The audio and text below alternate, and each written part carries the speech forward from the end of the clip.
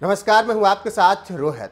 IPL से पहले Delhi Capitals को बड़ा झटका लगता हुआ दिख रहा है। दरअसल रिपोर्ट्स के मुताबिक डेविड वार्नर आईपीएल के शुरुआती चार पाँच मैचों में शायद नहीं खेलेंगे। मैच नहीं खेलने की वजह क्रिकेट ऑस्ट्रेलिया की गाइडलाइन और साथ में शेनवान का निधन भी है। डेविड वार्नर ने कहा है कि वो शेनवान की श्रद्धांजलि सभा में ज़रूर शामिल होंगे। बता दें कि शेनवान को 30 मार्च को श्रद्धांजलि मेलबर्न क्रिकेट ग्राउंड पर दी जाएगी। वार्नर का पिछले हफ़्ते थाईलैंड में दिल का दौरा पड़ने की वजह से निधन हो गया था। वार्नर ने कहा है कि आईपीएल हो या ना हो, लेकिन मैं शेनवान की श्रद्धांजलि सभा में सौ फ़ीसदी जाऊँगा। जब मैं बच्चा था तो मेरी दीवार पर उनके पोस्टर लगा हुआ करते थे। मैं हमेशा से शेनवान की तरह बनना चाहता था। इसीलिए मैं उनकी श्रद्धांजलि सभा में ज़रूर जाऊँगा। बता दें कि डेविड वार्नर वैसे भी 5 अप्रैल तक आईपीएल 2022 का हिस्सा नहीं बन सकते हैं, जिसकी वजह क्रिकेट ऑस्ट्रेलिया के दिशा निर्देश हैं। क्रिकेट ऑस्ट्रेलिया ने अपने सभी खिलाड़ियों को 5 अप्रैल के बाद ही आईपीएल में एंट्री की इजाज़त दी है। इसका मतलब वार्नर 30 मार्च को पहले मेलबर्न में सेनवान की श्रद्धांजलि सभा में शामिल होंगे और वो 6 अप्रैल को फिर मुंबई आएँगे आईपीएल में शामिल होने के लिए। और जब वो 6 अप्रैल को आएँगे तो इसके बाद बीसीसीआई के नियमों के अनुसार उन्हें पाँच दिनों तक क्वारंटीन रहना होगा।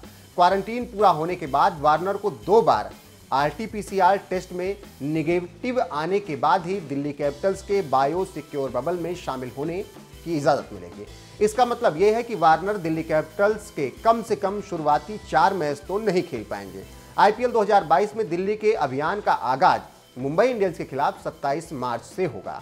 इसके बाद 2 अप्रैल को गुजरात टाइटंस और 7 अप्रैल को लखनऊ सुपर जायंट से उनकी टक्कर होगी। 10 अप्रैल को दिल्ली की टीम के केआर और 16 अप्रैल को आरसीबी से भिड़ंत होगी। आपको बता दें कि वार्नर को दिल्ली ने 6 करोड़ 25 लाख रुपए देकर अपनी टीम में शामिल किया था। वार्नर आरसीबी के खिलाफ आईपीएल 2022 में पहली बार खेलते हुए शायद नज़र आएँगे। वैसे आपको बता दें कि वार्नर के ना आने की वजह से दिल्ली कैपिटल्स के कप्तान ऋषभ पंत की मुश्किलें बढ़ती हुई नज़र आ रही हैं और वो टेंशन में हैं कि अब उन्हें विकल्प के तौर पर कोई एक और ओपनर देखना पड़ेगा। वैसे आपको बता दें कि इस वक्त ऑस्ट्रेलिया की टीम पाकिस्तान के दौरे पर 24 साल बाद पहुँची है और वहाँ पर टेस्ट सीरीज़ खेली जा रही है।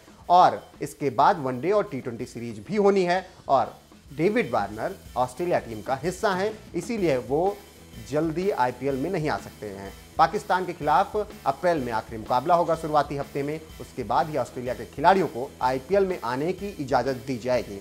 इसी बीच 30 मार्च को डेविड वार्नर पहले शेनवान के श्रद्धांजलि सभा में जाएँगे, उसके बाद ही वो आईपीएल खेलने के लिए उड़ान भरेंगे।